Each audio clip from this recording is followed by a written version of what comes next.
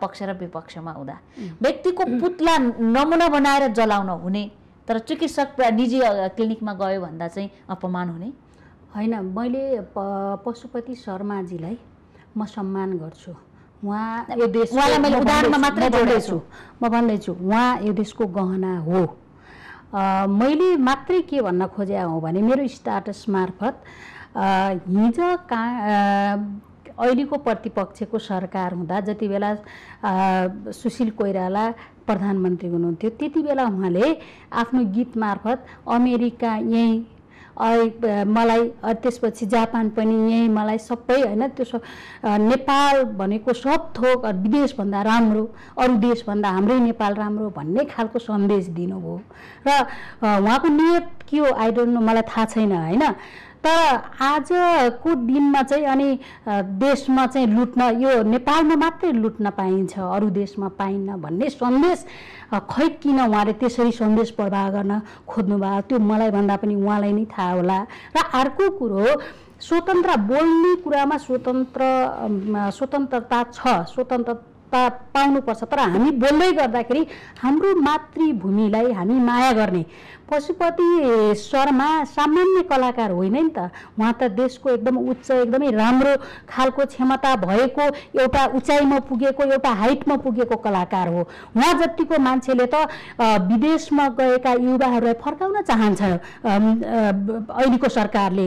विदेशमा गएका युवाहरूलाई रोजगारी सिर्जना गर्न चाहन्छ नेपालमा।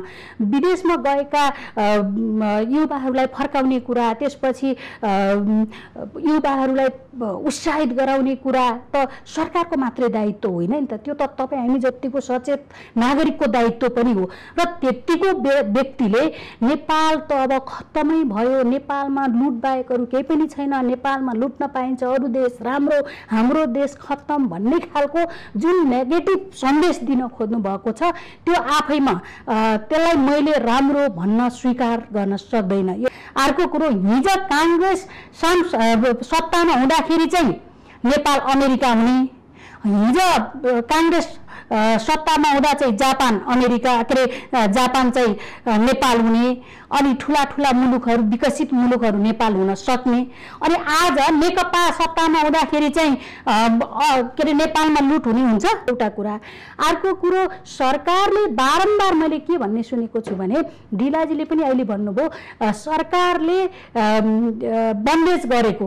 त्यो गीतलाई बन्देज गर्न लगाइयो त्यो गीत बोल्न नागरिकको बोल्न पाउने स्वतन्त्रतालाई कुण्ठित गरियो भन्ने खालका कुराहरू जुन आइरहेछ यो प्रति मेरो आपत्ति छ। सरकारले बोल्न पाउने मैले अघि नै पनि भने हामीले बोल्न पाउने अधिकारलाई कसरी सदुपयोग गर्ने? हामीले के बोल्ने? कस्तो बोल्ने?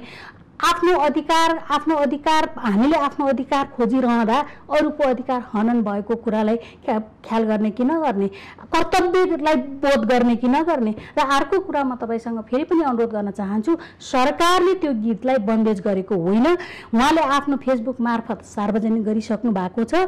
फेरि उहाँले आफैले नै केही भाषाहरूमा समस्या आएका कारणले गर्दाखेरि भाषा मिलाएर पुनः ल्याउने छु पनि भनिसक्नु भएको